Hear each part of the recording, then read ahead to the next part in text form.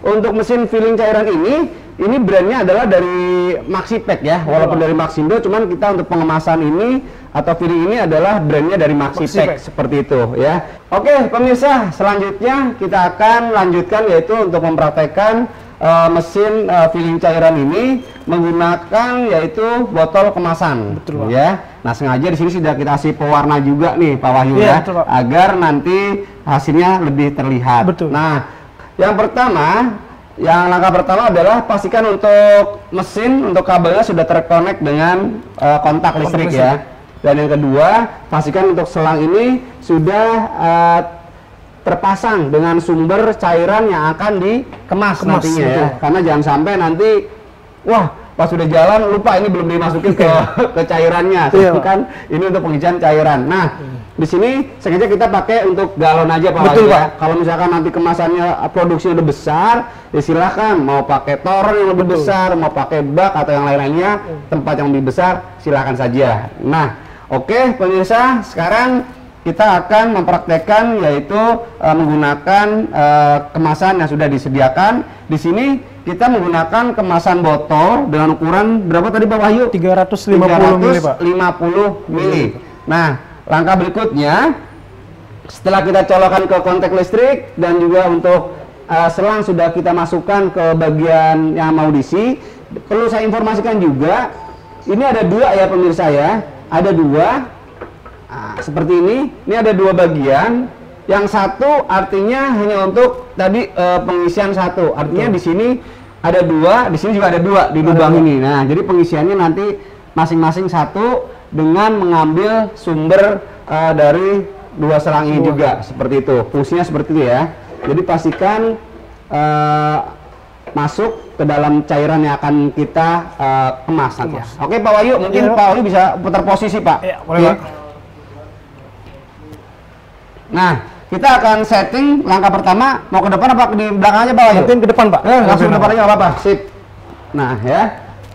Yang pertama, kita akan eh, setting dari awal dulu Pak Wahyu silakan. Pertama ini ada power, Pak. Oke. Ini power, kita nyalakan mesinnya. Nah, ini otomatis untuk indikator nyala digital nyala semua ya. Betul, Pak. Ini untuk tadi fungsinya. Satu Fungsinya. indikator ini fungsinya buat satu ini. Betul. Satu ini buat sebelah sini. betul, Pak Wahyu ya? Iya, betul, Pak. Oke, sekarang kita akan isi yaitu menggunakan satu botol yang bagian sini nih Pak Wahyu. Betul, Pak. Nah, ini menggunakan berarti yang mana? Yang ini, Pak. Oke, yang ini ya. iya. Nah, ini bisa diatur. Nah, Nah, atur. perlu diinformasikan juga untuk penjelasan dari filling time, waiting time, counter dan juga filling speed. Filling speed. Ini juga sangat mempengaruhi dari hasil yang akan kita eh, lakukan nantinya Betul, atau tolak ukurnya dari situ juga Pak ya. Betul, Pak. Nah, untuk filling time ini adalah eh, untuk waktu atau jumlah air ya atau cairan Iya, yang akan masuk ke dalam kemasan. Betul, ya? Betul, Pak. Oke, yang keduanya adalah waiting time-nya itu a- apanya Pak Bayu? Ini waktu jeda bila kita menggunakan otomatis, Pak. Oh iya, Iya. berarti kalau misalkan kita mau menggunakan otomatis, Otomatis. jadi setelah satu pengisian kita geser, Betul. tinggal diisi yang Isi lagi. berikutnya. Betul, oh, ada jeda ya, Ada tidak Pak. tumpah ya. Betul, Pak. Mantep. Nah, yang ketiga adalah counter buat. Pak Bayu? Ini biasanya kita tahu nanti Menghitung ya? menghitung jumlah yang sudah keluar, Pak. Oke, jadi counter ini fungsinya adalah untuk menghitung jumlah kemasan yang sudah eh, dilakukan. Dilakukan, ya. betul. Misalkan 1000 botol, 100 Betul. botol itu bisa terlihat Betul. dari eh, counternya ini. Iya. Nah, filling speednya buat apa Pak Wahyu? Ini untuk pengeluaran airnya lebih cepat atau lebih lambat, Pak. Oh, itu bisa pengaruh disetting. juga ya? Pengaruh juga, Pak. Karena kalau misalkan tingkat eh, botolnya misalkan yang kecil, Kecil. otomatis untuk tingkat speednya pun harus dikurangi juga Dikurangin, ya? betul. Kalau yang besar berarti harus di Besar, speednya ditambahkan Speed juga. ditambahkan. Nah ya, jadi fungsinya dari tadi ada filling tank, waiting tank, counter, filling filling speed. speed. Ini adalah indikator untuk proses pengisian dari masing-masing eh, selang ini ya, Betul, Pak ya. selang. Nah ini kalau misalkan dua, berarti tinggal setting aja dua dua-duanya ya. Betul, Pak. Oke Pak Wahyu, Ya. kita akan praktekkan untuk yang sebelah sini, berarti menggunakan mesin dulu ya. Oke, siap, Pak. Oke, diatur dulu bagaimana Pak Wahyu? Oke, ini kita kita coba Setting atur dulu ya. Menggunakan setting. Ini Pertama, untuk 350 mili. mili ya. nah, pertama untuk settingnya itu di sini ada baca Set, set, ya? exit, Pak. Ya, Ini kita set, Tekan. Lalu di sini ada pergeseran untuk sebelah kanan. ya. Ini bisa kita geser dan di sini ada untuk mengganti angka. Oh gitu ya. Iya, ini kita pencet angka. Dan bila kita mau kembali lagi seperti awal, Ya, cukup dipencet baca set lagi, Pak. set lagi ya. Iya, dan bila kita untuk pengaruhi titik ini Ah, koma, ini betul. mengaruh, Pak. Ini tinggal dipencet ada di sebelah sini. Oh, gitu Iya, ya. dia Oke, oke. titiknya akan pindah sendiri. Oke. Nah, ini kita ini kita setting 350 mili ya, Pak. ya untuk eh, satu botol ini Botol ya. satu takaran.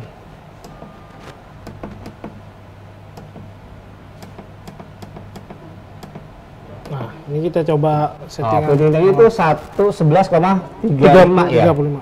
Itu nanti akan masuknya di 350 mili. mili. Betul, Pak. Untuk waiting time-nya Ini kita coba kita manual, ya, manual, sebut Pak. ya, manual ya. Ini kita satu satu detik, koma 26 satu Oh, detik Pak untuk iya. otomatisnya. Oke, terus untuk counternya nanti otomatis, Otomatis. akan ya akan menghitung. Iya. Untuk speednya sendiri Kita menggunakan 50. Nah ini settingnya juga seperti ini Pak. sama ya. Ya sama ini tinggal kita maju mundurnya aja. Heeh. Dan di sini juga ada ini untuk manual dan ini untuk otomatis. Nah, Oh, otomatis gitu. ini yang nanti Akan dipakai yang mana ya? Iya betul Pak. Oke. Nah, terus yang sebelah sini Pak Wahyu, mungkin untuk sebelahnya kita coba isi setengah aja Pak Wahyu. Oke, Pak. berarti kalau 350 mili, berarti ukuran di 175 75, ya. betul, coba Pak bisa disetting nanti untuk yang sebelah sini untuk ukuran tadi ya. Nah ini botol. masih sama Ya. settingannya seperti yang di Tadi sebelah awal ini ya? di awal. Oke. Ya cukup dipencet set, lalu kita pindahkan Oke. dan ini bisa kita ganti jumlahnya. Ya.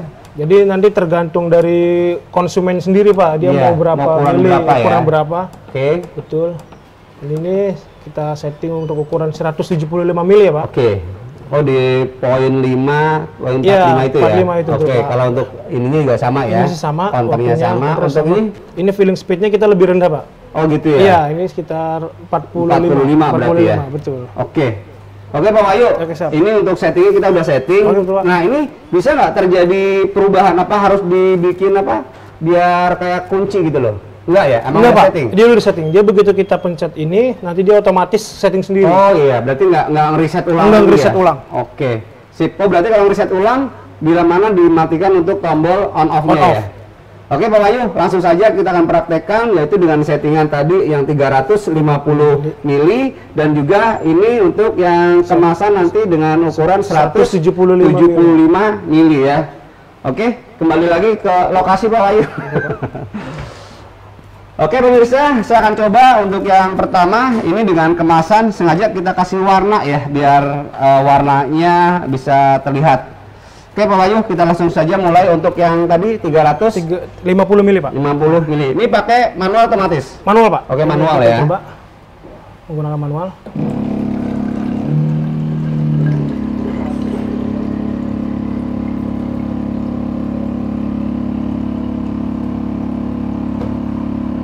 Kita kita lihat hasilnya.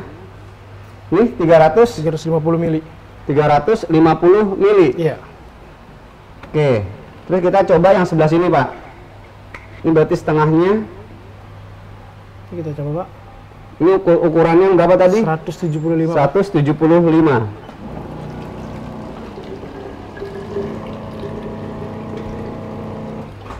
Nah, ini setengahnya ya. Nah, jadi secara dari tampilan botol sudah terlihat. Selanjutnya kita akan mempraktekkan juga yaitu untuk yang jilidian Pak Wahyu. Betul, Pak. Nah, ya. Ini bisa nggak dua-duanya langsung bekerja? Bisa Pak bekerja. Oke, coba kita langsung saja praktekkan ya untuk ini satu dan juga untuk yang ini satu. Nah, kita coba eh, bekerja secara bersamaan maksud saya Wahyu. Nah, ini Berarti kan sesuai dengan eh, aturan depan tadi ya. ya Pak. Oke, Pak Wahyu mungkin bisa Ini langsung, langsung di- aja Pak. Kita menggunakan handle-nya nih. Oh gitu ya. Iya, kita nah, ini bisa digunakan seperti ini. Iya. Ini idealnya adalah di bawah ya. Betul. Cuman ini biar lebih terlihat aja. Kita tekan, ditekan aja Iya, langsung. tekan aja, Pak. Ini otomatis akan bergerak. Atau bergerak dua-duanya. Oke. Tekan lama aja, tekan sekali aja. Tekan sekali aja, Pak. Oke. Nah, seperti itu aja cukup. Jadi kayak main mouse aja ya. nah, ini yang tadi eh, setengah, Iya. ini yang tadi full ya, Betul. 350. Wah, mantep nih, ya. Nah, ya. Jadi ini sangat mudah sekali. Jadi kalau misalkan mau bikin dua untuk dua model, Betul, Pak. dua ukuran itu bisa diatur dari settingan Dari dua settingan, Pak. indikator ini aja selesai ya. Praktis pastinya tinggal duduk. Ini kayak mau saya bilang. Ya, lebih mos, betul. Seperti mos, ya. Udah bisa bekerja ya. Betul. Seperti ini. Nah, kalau misalkan mau dibikin secara tadi otomatis tadi, Hmm. itu otomatis kita tinggal hanya memasang botol-botolnya saja ya. Betul, Karena Pak. tadi Otomatis. ada durasi Ada jarak jarak. antara botol pengisian botol pertama dengan Botol botol, kedua. kedua. Jadi misalkan, oh ini tadi diisi udah penuh, tinggal siapkan botol berikutnya. Iya. Itu aja Pak Wahyu ya? Betul Pak, ada jedanya. Mantap ya. Jadi mesin ini sangat cocok sekali nih ya. Pak. Satu sudah praktis, teknologinya juga sudah Canggih. uh, mantap sekali ya. Bahannya juga untuk bodinya juga stainless, Stainless full, artinya mudah dibersihkan Betul. ya. Terus di bawahnya juga udah ada kaki eh, dilengkapi dengan karet, Karet. otomatis eh, tidak licin pada Betul, saat Pak. digunakan. Nah media yang digunakan pun mejanya yaitu kita sarankan sih menggunakan meja yang Ya. eh, halus seperti Halus, ini ya. betul. Oke, sekarang kita akan menggunakan yaitu menggunakan jeligen, yaitu kita ambil yang paling tinggi tadi ya Paling tinggi, di Liter. 3000 mili ya 3.000, atau 3, 3 liter. 3 liter. Nah, ini juga nah ini kemasan kecil nih. Nah, ini kita coba akan praktekkan juga untuk kemasan yang lebih kecil. Ini kemasan di berapa tadi? Di 10 100 ya? mili, 100 Pak. mili berarti 100 ya? mili, Pak. 100 mili ya. Nah, ini kita gunakan nanti untuk 100 mili yang biasa juga digunakan untuk para pengusaha yang hand sanitizer itu ya. Oke, Pak Wahyu, kita Ya, akan lanjutkan yaitu menggunakan yang kecil dulu, baru nanti yang menggunakan yang besar. Oke, mungkin pindah posisi dulu Iya, Pak. Pak. Oke. Ini kita setting dulu sama ya. Ya, kita setting Pak. Udah di setting belum Pak? Oh, sudah di setting Pak. Oke, di Kita setting setting. untuk ukurannya yang di kecil dulu. Ini sebelah mana? Kanan atau sebelah kiri? Sebelah kanan Pak. Sebelah kanan sini ya. Oke, kita akan langsung praktekkan. Ini langsung kita tekan tombolnya saja ya. Iya Pak, ini kita tekan tombol. Oke. Yang sini ya. Ya Pak, betul. tanpa tumpah. Lihat untuk hasilnya. Waduh, mantap nih. Ini 100 100 mili Pak. 100 mili. Oke, sekarang kita menggunakan untuk yang tipe Jeligen, besar. tipe besar. Ya, ini menggunakan jeligen. Kita buka. Nah, ini kita akan liter. pakai adalah dua ya. Dua Pak. Langsung dua saja biar agak cepat. Seperti ini. Walaupun bisa juga kalau dua jeligen kita main dua jeligen. Betul, Pak. ini dua seperti ini kita paskan. Kalau dirasa kurang turun kita turunkan lagi aja. Seperti ini. Nah, oke. Oke, Pak Wahyu. Kita setting. Settingannya seperti apa? Seperti ini Pak. Ini kita harus sama ya kalau main sama, dua ya. Ini sudah kita setting untuk Tujuh. ukuran ya 70 tadi ya. 70, udah kita sama. Nah, ya kita setting dulu di Oke. angka 7 sama ya. Ini 7 Kosong. Oke, geser lagi. lagi. Kosong lagi. Untuk speednya tetap aja ya untuk Speednya wipingnya. ini kita jarak- turunkan sama 40 Pak. Oh 40 Ya, ini kita Oke. turunkan. Seperti ini. 45 40 ya? 40, Pak.